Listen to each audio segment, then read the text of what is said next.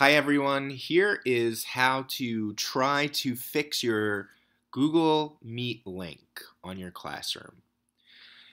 Right now, I have Meet link and it's this and I have a little picture of a camera. You only have basically two things you can do to try to fix this if it's not working. The way to try to fix it is go to settings, the settings wheel up here, go down to general and find the spot that says meet.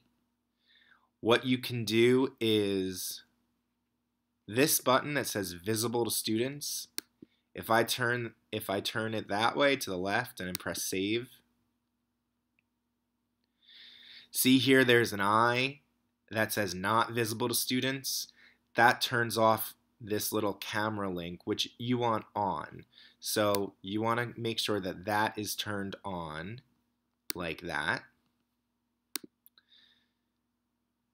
Because now see that eye turned into a camera. And when you press the camera, it seems to be one of the easiest ways to do it.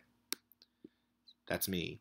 Second thing you can do is if for some reason it's not working, your link is not being correct, you can click again here in settings and you only have two choices copy or reset. So I guess if you want to reset it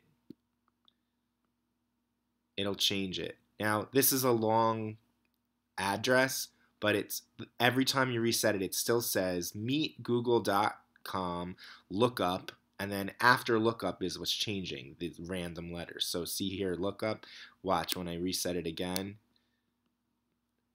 it's everything after lookup is what changes. And so this is BGB2. See, it's BGB2. So that might help. So try that first. Try that first and see if it works. And if it doesn't fix your problem, if you're still having problems that kids are saying your meet doesn't connect and work, then email me. Thank you.